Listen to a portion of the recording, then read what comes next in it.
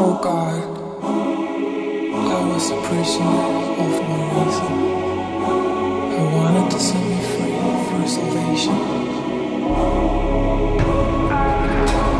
No God, there's no need